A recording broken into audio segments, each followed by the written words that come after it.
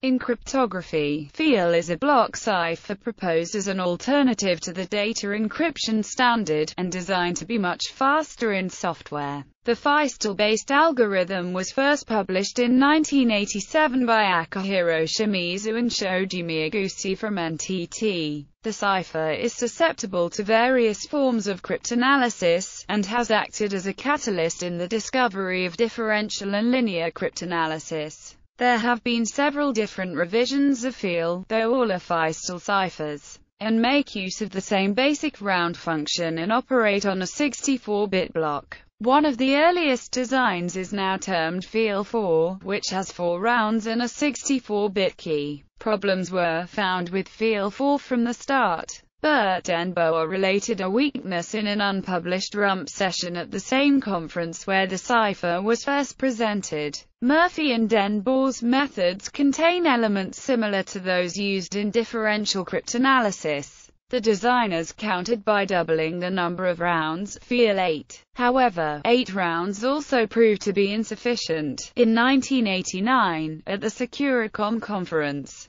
Eli Biham and Adi Shamir described a differential attack on the cipher, mentioned in Gilbert and Chassé subsequently published a statistical attack similar to differential cryptanalysis which requires 10,000 pairs of chosen plaintexts. In response, the designers introduced a variable round cipher, FEAL-N, where n was chosen by the user, together with FEAL-NX which had a larger 128-bit key. Biham and Shamir's differential cryptanalysis showed that both FEAL-N and FEAL-NX could be broken faster than exhaustive search for N31. Later attacks, precursors to linear cryptanalysis, could break versions under the known plaintext assumption first and then, the latter breaking FEAL4 with five known plaintexts. FEAL 6 with 100, and FEAL 8 with 215. In 1994, OHTA and Aoki presented a linear cryptanalytic attack against FEAL 8 that required 212 known plaintexts.